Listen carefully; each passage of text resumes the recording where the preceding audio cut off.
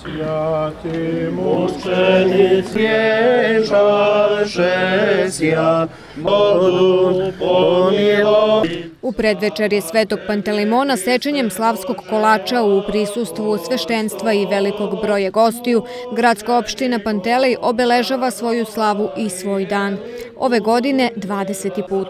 Na proslavi i svi prethodni predsednici opštine, a tek izabrano opštinsko rukovodstvo najavljuje nastavak razvoja u saradnju sa gradom. Znam da će možda ponekad naši zahtevi novom gradskom rukovodstvu delovati kao recimo spisak lepih želja, ali isto tako u životu znamo da dok ne ostvarujemo neke svoje želje ne možemo ni ići napred.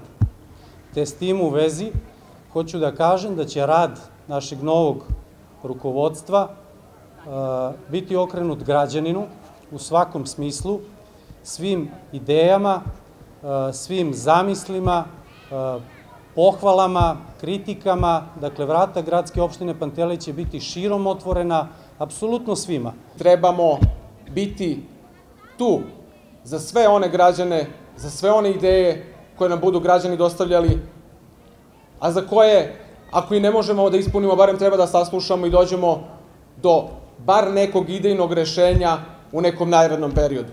Treba da nam bude postrek ovaj dan i ova slava. Treba da nam bude postrek da gradimo i ulice, i u škole, i vrtiće, i sve ono što je potrebno jednoj opštini za bolji život. Pojedincima i kompanijama koje pomažu aktivnosti opštine uručene su blagodarnice. Slav je nastavljeno uz folklorce i postuženje, a nastavlja se 9. avgusta jutarnjom liturgijom u Pantelejskoj crkvi i nezobilaznim Pantelejskim vašarom.